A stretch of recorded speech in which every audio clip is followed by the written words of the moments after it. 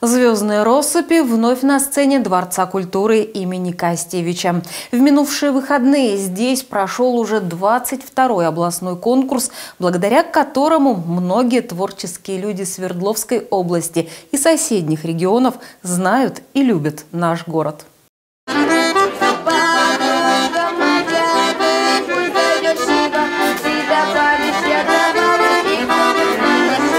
Лапушки распеваются в кулуарах и готовятся выйти на сцену. Уже не первый состав этого творческого коллектива приезжает в Ирбит, чтобы принять участие в «Звездных россыпях». И не только. Ведь история его насчитывает больше 30 лет. Так что ни одно поколение из моденовцев побывало в Ирбите и с удовольствием продолжает ездить в наш город.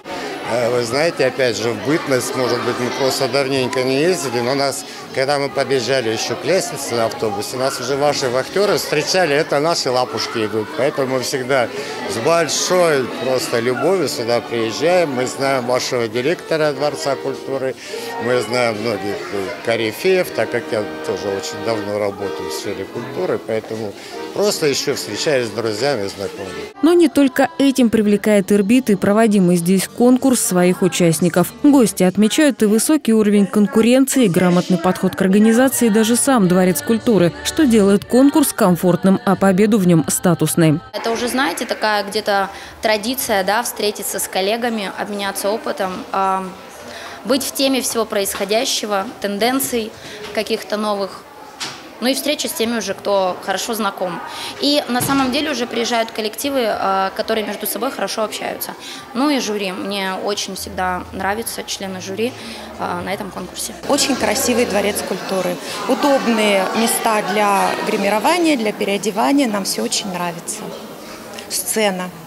Изумительно красивая сцена. Хорошее покрытие, хорошая конфигурация сцены попытаемся прорепетировать на ней, успеть еще раз.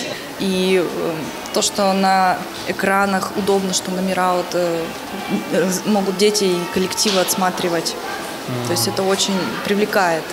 Такое немножечко современное э, видение конкурсов. Но это мнение взрослых, а вот дети и подростки, на которых, к слову, приходится большая часть из числа участников конкурса, радуются хорошему выступлению, положительным эмоциям, полученным от самого выхода на сцену и хорошей оценки, ну и возможности увидеть и узнать что-то для себя новое. Мне очень понравилось э, сам фестиваль, выступать понравилось.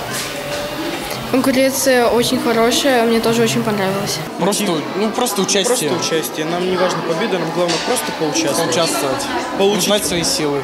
Получить больше опыта. Так что для участников конкурса эти дни хоть и были сложными, но промелькнули почти незаметно. А ведь на сцену за это время вышло более 220 конкурсантов, из которых 163 в номинации «Вокал». Остальные представили на суд жюри хореографические композиции. И тем ценнее награды вновь получили полученные в этом конкурсе ирбичанами, а их восемь у солистов вокальных студий «Апрель» и «Камертон», а также у хореографического коллектива «Уралочка».